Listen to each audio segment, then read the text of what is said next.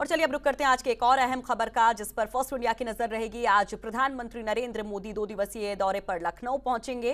PM Modi 28 यानी कि आज, और कल लखनऊ में रहेंगे। वो 28 तारीख को, यानी कि आज, ट्रांसफॉर्मिंग अर्बन लैंडस्केप के आयोजन में शामिल होंगे।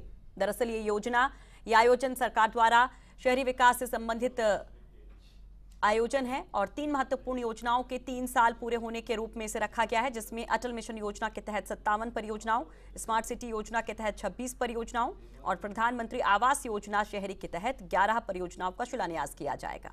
इस दौरान पीएम मोदी कार्यक्रम में मौजूद लोगों को संबोधित भी करेंगे। वहीं उनतीस जुलाई को मोदी लखनऊ के इंदिरा गांधी प्रतिष्ठान में साठ हज़ार करोड़ रुपए के चौहत्तर निवेश परियोजनाओं का एक साथ शिलान्यास करेंगे।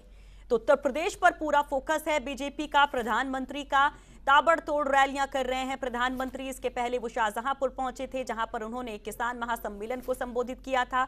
उसके पहले वो आजमगढ़ और मिर्जापुर भी गए थे, वाराणसी भी गए थे, संत कबीर नगर भी गए थे। तो पिछले कुछ दिनों में ताबड़तोड़ कार्यक्रम प्रधानमंत्री के उत्तर प्रदेश में। इसका मतलब क्या है समझने की कोशिश करते अपने सहयोगी एहतिशाम से। एहतिशाम इन दौरों का मतलब समझने की कोशिश करेंगे कि क्या उत्तर प्रदेश में चुनावी शंखनाद हो चुका है, ये माना जाए। और ये दो दिन का जो कार्यक्रम है, इसकी भी अहमियत बताइए, क्या कुछ खास होने वाला है?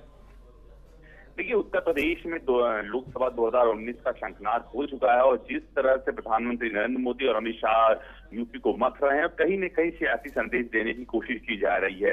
रही बात लखनऊ दौरे की तो लखनऊ दौरा खासतौर से बिज़नेस के समिट के लिए बुलाया गया है। बकायदा कार्यक्रम रखे गए हैं, क्योंकि इससे पहले भी जब प्रोग्राम हुआ था लखनऊ में तो तमाम बड़ी हस्तियों को बुलाया गया था। लिहाजा आज और कल जो कार्यक्रम हो रहा है देश भर के तमाम नगर निगम के मेयर्स तमाम ऑफिसर्स बुलाए गए साथ ही जो कार्यक्रम है उसमें प्रधानमंत्री के साथ साथ देश के तक, तकरीबन बावन उद्योगपति शिरकत करेंगे।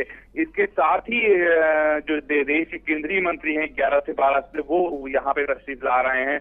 तो काफ़ी बड़ा प्रोग्राम है।